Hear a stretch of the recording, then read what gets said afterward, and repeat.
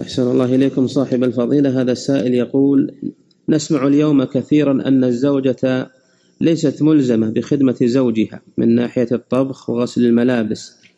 فنريد منكم القول الفصل في هذه المسألة.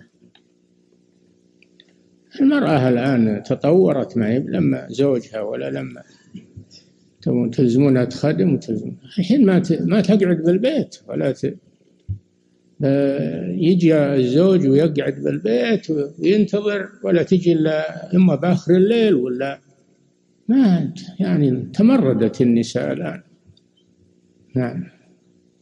ولا السنة أن المرأة تخدم زوجها الصحابيات رضي الله عنهن يخدمن أزواجهن يطبخن ويخدمن البيت وهن صحابيات أفضل نساء الأمة.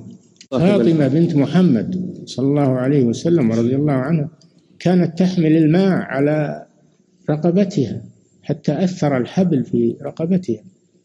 طلبت من الرسول أن يخدمها خادمة فأبى أبى أن يخدمها خادمة وأمرها أن تستعين بالذكر والاستغفار وهي بنت محمد عليه الصلاة والسلام. نعم.